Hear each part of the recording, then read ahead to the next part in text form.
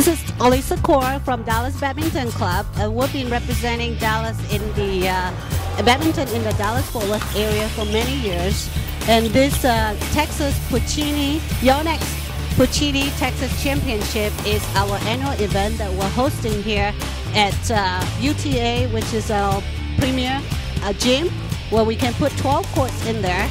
And the purpose of this uh, badminton tournament is to really promote badminton in the area.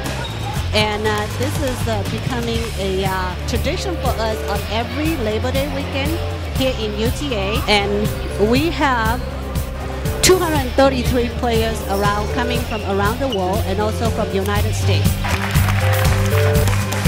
Uh, I'd like to tell you about our club uh, training program, particularly with regards to the kids. Uh, right now we have 28 kids divided into four groups, in beginning level all the way to advanced level. And uh, the age, age groups are between 7 all the way to about 15 years old.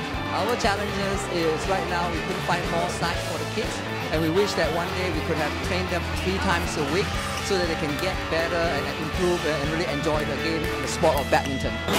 Seven, six. I uh, came here to play the Dallas Open. Uh, I think the organizing is uh, really great and uh, the tournament also, has, like whatever I've seen so far, has been uh, going on so well.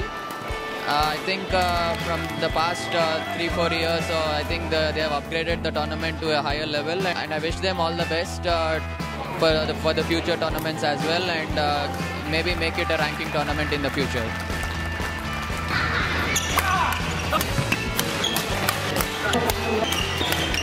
Yeah!